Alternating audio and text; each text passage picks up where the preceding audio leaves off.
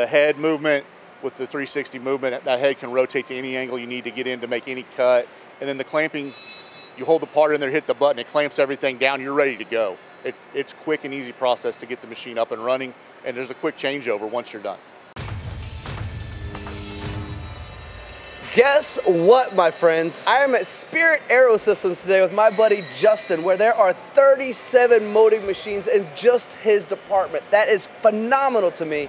And we're going to talk about FlexiMill and how it's supported Spirit Aerosystems and the continued growth. I know you've heard of these guys. Justin is going to explain how these successes have happened here in Kansas as a world leader. Justin, thank you so much for being a part of MTD, my friend. Yeah, glad to be here. I'm glad that you're here as well. It's an awesome jacket, but I am even more excited to learn about what we're standing in front of right now and then all the other Modig machines. So firstly, let's talk about this Flexi Mill. I know you have bunches of them. What's this allowed you to do within Spirit Aerosystems? So with the Flexi Mill installation that was done and the partnership we have with Modig, we were able to design these machines so that they had two different contours so we could run two different types of parts that support the production needs that we have throughout the factory coming off of stretch presses and um, other areas that we are involved in. As we're talking about something like this, I see, I mean, the setup's unlike anything I've seen anywhere else, right? It's phenomenal, it's, it's unique, it's, it allows us to do certain things that maybe we couldn't do previously. Do you by chance have a story of how something was done previously and how supported, Modig supporting you upgraded that process?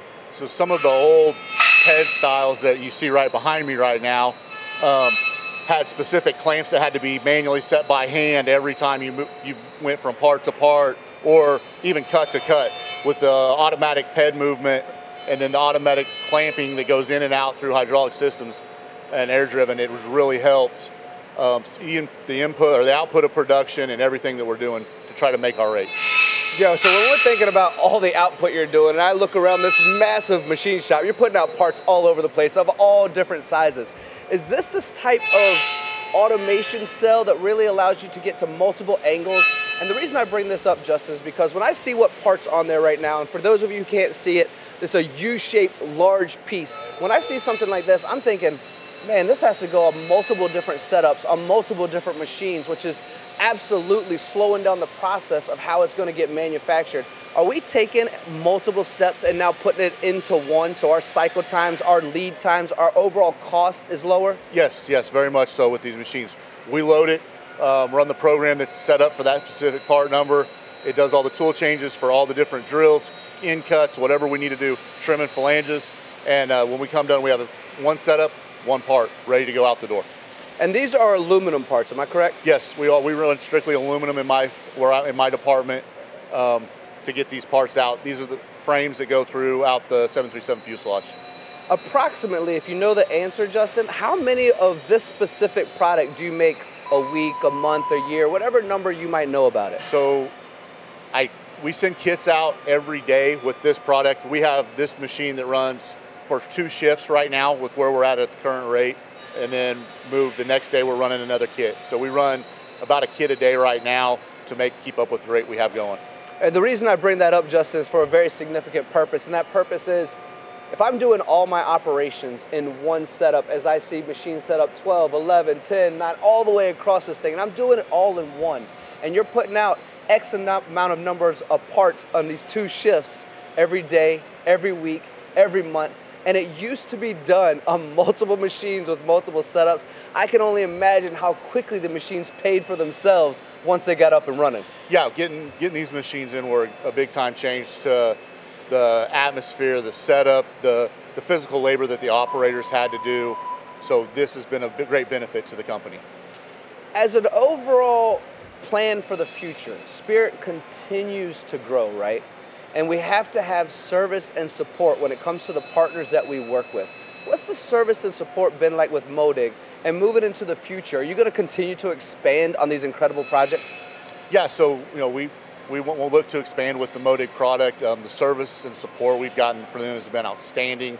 Um, with them putting the new the Spirit US or Modig USA downtown, um, we have a direct contact here that's local, so we can get all the support and products we need. Yeah, we need that. And that facility is amazing, by the way. The grand opening was so much fun. You guys are represented there.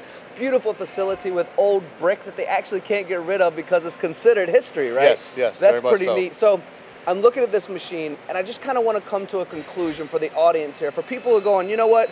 I hear Justin's story. Aerospace is magnificent. Spirit is huge. Why would I personally invest in one? What are some of the unique attributes that you've personally seen when it comes to this machine? And so someone watching right now might go, man, I should really look into that machine as well. So one of the things with the way I have this machine set up right now is that I've got that big contour in it that you can see behind us. Um, these machines have the capability to actually go where they're in a straight line. And then you can also have it so that instead of a concave, it's a convex contour to, to fit a different size, type of part the way it's formed or whatever you need. The head movement with the 360 movement, that head can rotate to any angle you need to get in to make any cut, any drill that you need to. Um, and then the clamping, you know, you hold the part in there, hit the button, it clamps everything down, you're ready to go. It, it's quick and easy process to get the machine up and running, and there's a quick changeover once you're done. If I looked at this machine first time, I go, man, that looks a little bit scary. I mean, how many stations do I have here? However, when I'm walking around your shop, I see people everywhere. Looks like they're comfortably running these machines with a smile on their face. Would you say they're pretty user friendly as well? Yeah, definitely user friendly. Um, you know, we have a training set, set up whenever we bring a new hire in. That you know, we make sure that they're trained and ready. But depending on the skill, I've got guys that can be self-sufficient and within a couple weeks coming in with little to no experience on a Modig machine. So the, the the turnaround to get somebody up to speed is very quick. Running, building a good quality product. That is the testimonial that I love to hear, my friend. Justin, you are off the hook. You are amazing. Thank you for joining me at MTD.